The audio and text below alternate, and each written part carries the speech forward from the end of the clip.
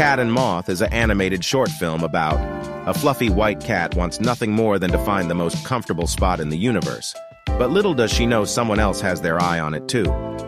See link in description. Like, share, and subscribe to CG Meetup to see more award-winning animated short films.